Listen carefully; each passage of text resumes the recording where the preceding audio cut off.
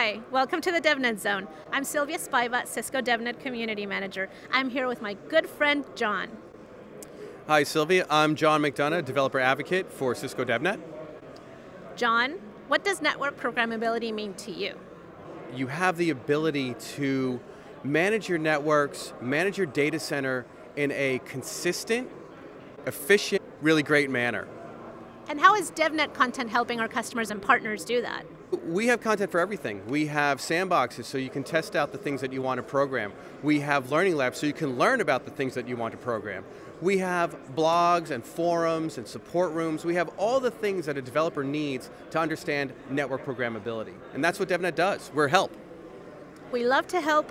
We're here in the DevNet Zone. Now that you've been to the DevNet Zone, you can... Now that I've been here, I can really understand what customers and partners need in terms of programmability. And I see it in their faces, you know, after they sit in a session or they do a workshop and they leave with that, that light, bulb of, light bulb of epiphany over their head. I got it, now I know how to do it, and I'm going to go make my data center more efficient and all around better. Thanks so much for being here. Do you remember how many DevNet zones you've worked at? I've been to, I think, this is my 18th DevNet zone. No, it's my 57th. So we did a bunch.